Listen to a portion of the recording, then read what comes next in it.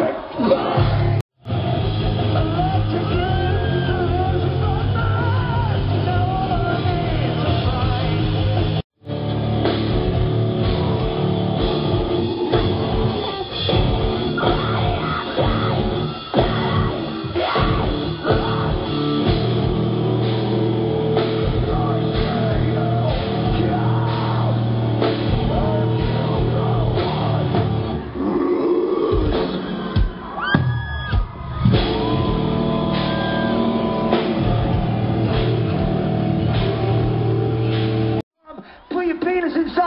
Never call her again. This song goes out to sexy strangers. It's called Not the American Average.